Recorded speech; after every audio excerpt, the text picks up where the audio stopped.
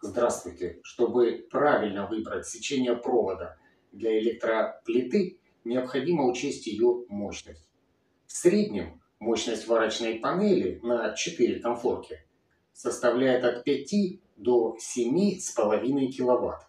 Выбирать сечение кабеля для варочной панели нужно исходя из большего значения 7,5 кВт, а из того, сколько у вас фаз в доме, одна фаза или три фазы, следует выбирать количество жил, то есть количество проводов в кабеле.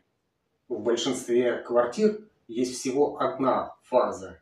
Для них кабель для варочной панели должен иметь три жилы, а сечение кабеля для электроплиты должно быть 4 мм квадратных, причем речь идет о медном кабеле.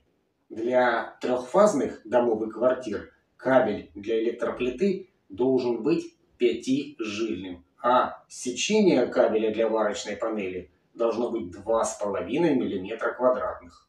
Итак, для однофазной сети 220-230 вольт нужен кабель 3 жилы по 4 мм квадратных, а для трехфазной сети 380 вольт нужен кабель для электроплиты 5 жил по 2,5 мм квадратных.